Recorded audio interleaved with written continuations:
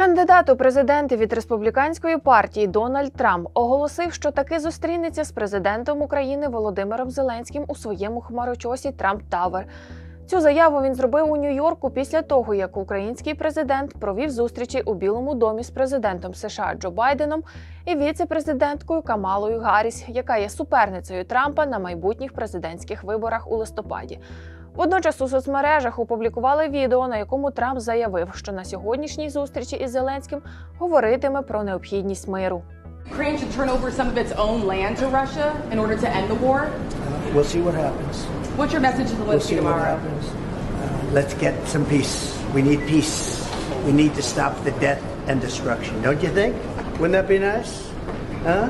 Варто зауважити, що раніше оглядачі висловлювали сумніви щодо можливої зустрічі Трампа та Зеленського, який з понеділка перебуває у США з офіційним візитом. Крім того, за ініціативи республіканців відбувся скандал навколо візиту українського президента на завод у Пенсильванії, де на зустрічі не було представників республіканців. На цьому підприємстві виготовляються артилерійські снаряди для ЗСУ. Представники республіканської партії США у Конгресі також ініціювали розслідування щодо можливого втручання у вибори. Бо цей завод нібито розташований у хиткому штаті, який є ключовим у президентських виборах США, і, начебто, через це республіканців спеціально не запросили. Натомість у Білому домі відреагували на скандал. Так, речниця Білого Дому зазначила, що незадовго до приїзду до Пенсильванії Зеленський відвідав штат Юта з губернатором республіканцем, і того разу ніхто не починав розслідувань стосовно втручань у вибори США.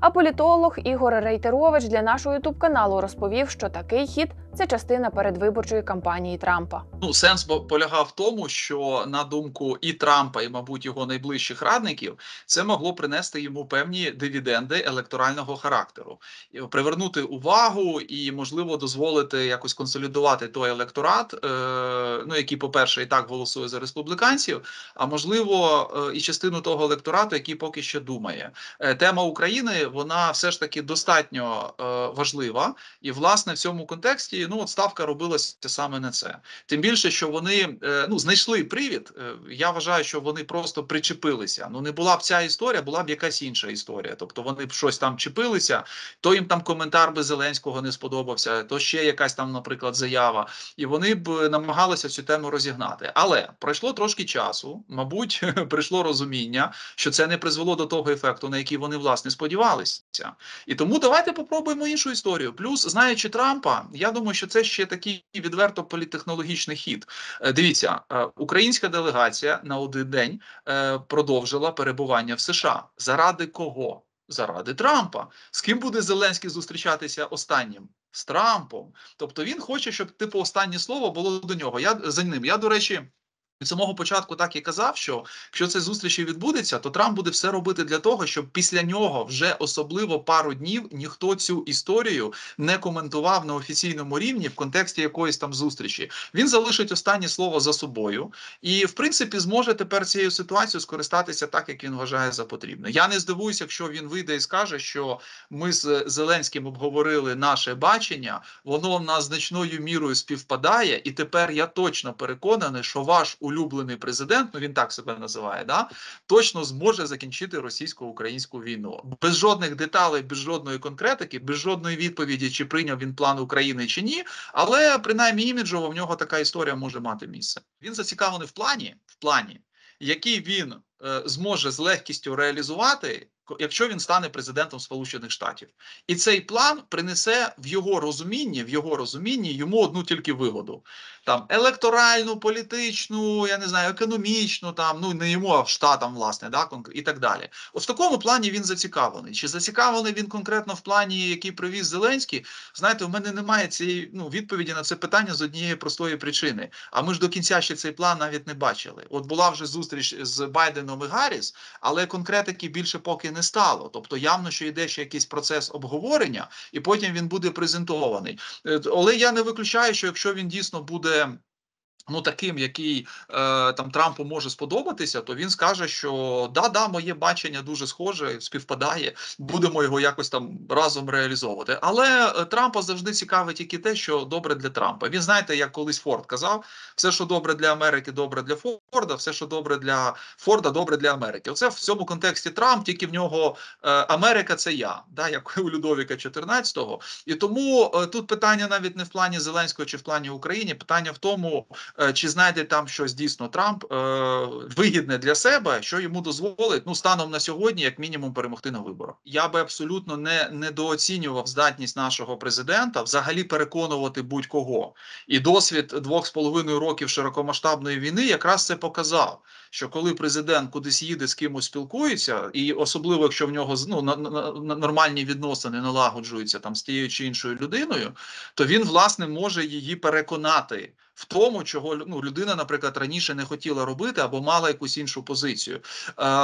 Я думаю, саме через цим і пов'язана оця е, спроба і ініціативність з нашої сторони власне з Трампом зустрітися. Тому що знаєте, розмова по телефону це одна історія. Тим більше, що вже був не, не сильно позитивний досвід однієї розмови по телефону. Да? А от зустріч особиста, тим більше, якщо буде якась частинка там закрита, це трошки інша історія. Трамп як кажуть, достатньо відверта людина в таких розмовах, і ця відвертість вона може зіграти нам ну на руку, тому що ну явно ж у президента будуть якісь додаткові аргументи, які він може озвучити Трампу. Я тільки підкреслюю, як кандидату на посаду президента, як кандидату на посаду президента. Зрозуміло, що Україна не буде казати, що ми віримо в вас, ми підтримуємо вас. Значить, це неправильна позиція. Ми її дотримуємося. Да? Хто переможе, той переможе.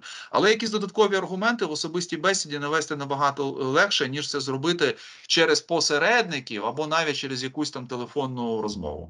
Додам, президент України Володимир Зеленський вже провів переговори з лідером США Джо Байденом, представивши йому свій план перемоги. Доручили нашим командам провести консультації щодо наступних кроків, сказав український президент. Власне, як відбулася сама зустріч, дивіться далі.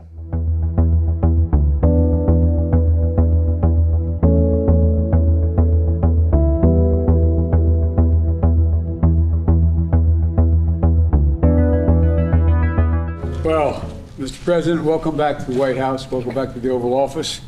Got to see each other yesterday.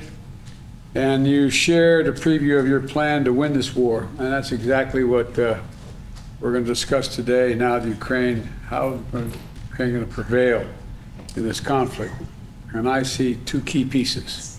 First, right now we have to strengthen Ukraine's position on the battlefield. And that's why today I'm proud to announce a new $2.4 billion package of security assistance. I've also directed the Pentagon to allocate, to allocate all the remaining security assistance funding that has been appropriated for Ukraine, period, by the end of this, my term, which is January 20. And this will strengthen Ukraine's position in future negotiations. Second, uh, we look ahead to help Ukraine succeed in the long term. As you know better than anyone, we, as we said at the Washington summit, we have to support Ukraine in its path to membership to both the EU and to NATO, and continue to make reforms to counter corruption and strengthen democracy, which you're working mightily on right now. We have to ensure Ukraine has sufficient capabilities. I mean sufficient capabilities to defend against future Russian aggression. So I'm proud of the steps we've taken in our partnership on these fronts. Earlier this summer, we launched the Ukraine Compact with more than 20 nations committed to Ukraine's long term security. And yesterday, with over 30 nations and the EU, we launched a joint declaration of support for Ukraine's recovery and reconstruction, some of it using Russian assets as well. And so, uh, with both these actions, we make it clear we stand with Ukraine now and in the future. We've got a lot to discuss, so let me close with this. These two elements are critical to how this war ends. Let me be clear Russia will not prevail in war. Russia will not prevail. Ukraine will prevail, and we'll continue to stand by you every step of the way. So thank you for being here, and the floor is yours. Thank you so much, Mr. President. Mr. President, uh, thank you for your strong support for the decision that are helping us protect Ukraine, Ukrainians a whole. We deeply appreciate that Ukraine and America have stood side by side from the very first moments of this terrible Russian invasion. Your determination is incredibly important for us to prevail.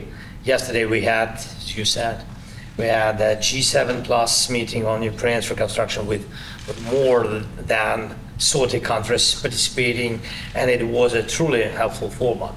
We must restore normal life, and we greatly value your leadership, Mr. President. We also have 26 bilateral security agreements with partners based on the G7 security declaration. We have a strong security agreement with United States, and we are grateful for it, and we will fully implement it. And it's very important that we share the same vision for Ukraine's security future in the EU and NATO. And Ukraine is doing the unprecedented number of reforms on this path. Today we have a new support package, $7.9 billion. This will be a great help. And I raised with President Biden the plan of victory. Today we are preparing to discuss the details to strengthen the plan, coordinate our positions, views, and approaches. Our teams will work together to ensure the implementation of our future steps. And today in the morning, I've met with both Senate and the House, and uh, thank you for the unwavering bipartisan support. And to all American people, together we have to win. We will win. Thank you. Відомо, що наступним етапом роботи над планом України та втіленням його в життя має стати нова зустріч Байдена і Зеленського 12 жовтня. Вона відбудеться у Німеччині, де Байден цього разу головуватиме на засіданні у форматі Рамштайн. Окремо Зеленський зустрівся із Камалою Гарріс, з якою теж обговорив стратегію України.